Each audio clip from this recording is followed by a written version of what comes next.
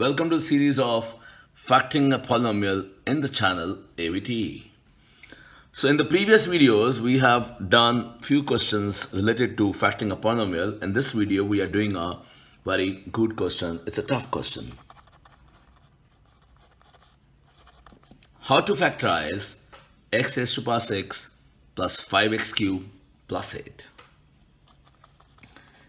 If we go like this style, we put x cube is equal to y, then x raised to power 6 is y square.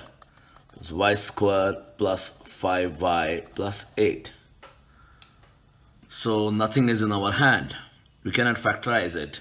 Let's see if we find the d of this, b square minus 4ac.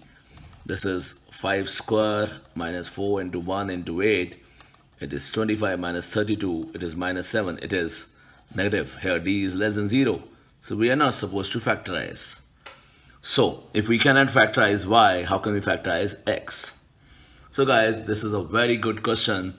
x raised to power 6 plus 5x cubed plus 8. Here we go.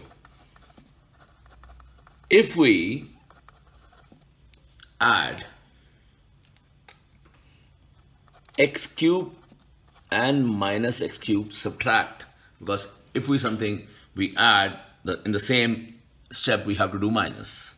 Like if you do rationalization if you multiply something you have to divide. This is also rationalization. If you add something you have to subtract.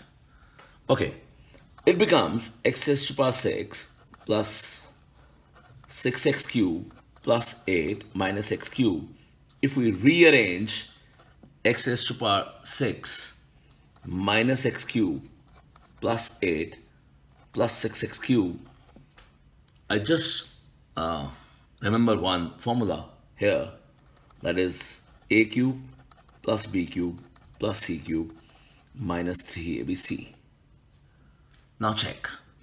This is a cube plus b cube plus c cube minus 3a b and c.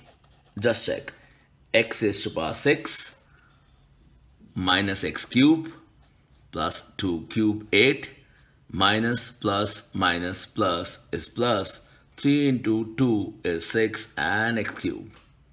So here you go. The formula is a cube plus b cube plus c cube minus 3abc is a plus b plus c it is a square plus b square plus c square minus ab minus bc minus ca. Got it?